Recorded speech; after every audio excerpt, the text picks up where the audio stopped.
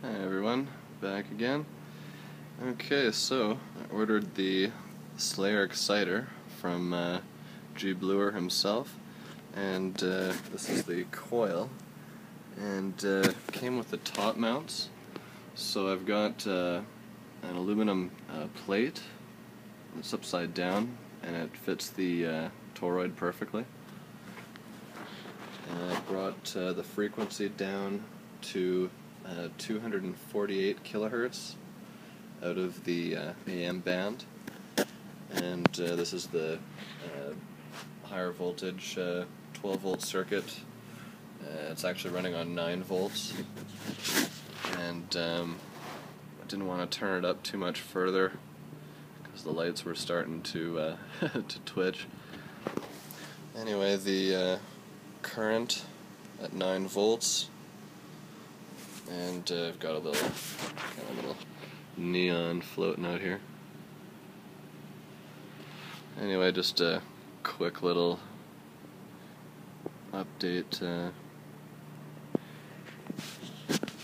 the uh, coil came with that uh, pancake coil, but when I added the top load, it uh, lowered the frequency so far that uh, I had to switch to an adjustable primary to find find the spot.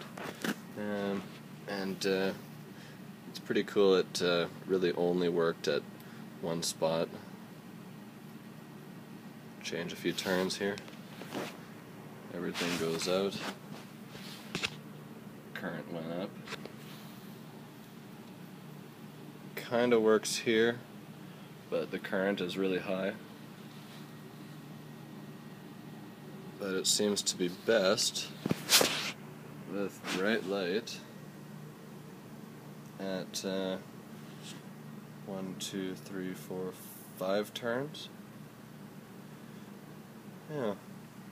Anyway, uh, it's looking pretty cool. And of course, the uh, in the Slayer circuit, the base is um, uh, triggered by the oscillations on the on the resonator, and when you touch that, it uh, stops stops the base from uh, running. And I'm again I'm taking power from uh, using this plate next to it here. So I'll move that uh, closer and away. Closer. Away.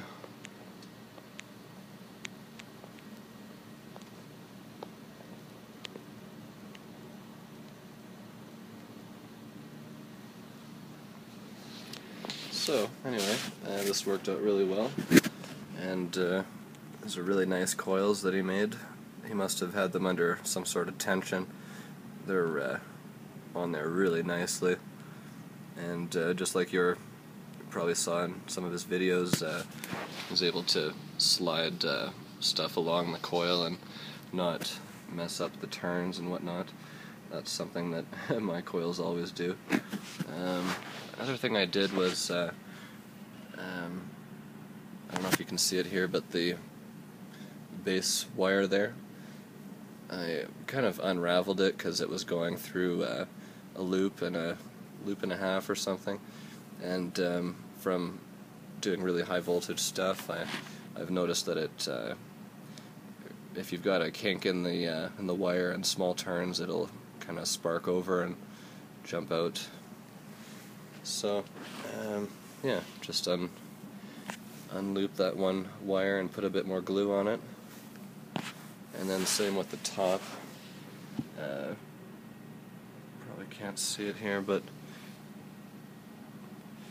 I just uh, took that piece of uh, just that loop off the end and unraveled it, and then just ran it straight to the top load. It's pretty cool. It's about uh, close, I guess, two and a half times the diameter on the resonator is what the length is.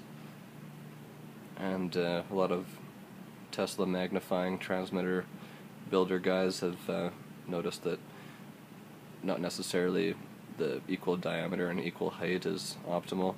Uh, up to two and a half times the resonator diameter is pretty close to optimal. So, I'll be working more with this. Try out the different circuits that he posted. But, um, yeah, it's going really well. And uh, actually, if I turn the light off,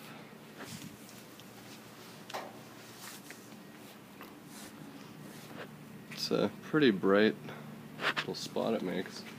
I don't know if you can see this, but kind of lights up the. Yeah, you can't really see it. You can see the focused beam, but it does spread out quite a bit, and it's uh, it's pretty usable for if you've got it just right by the bench or something like that.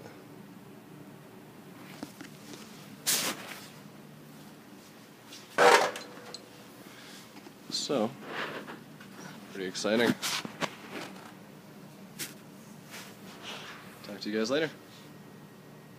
Oh, and actually, these are uh, some white LEDs that I ordered from uh, China, I think. So these work a lot nicer than than those yellow ones. Just had a lot of these free yellow ones, so um, I've been using those, but these tend to have a lot more brilliance. Alright. Talk to you guys soon.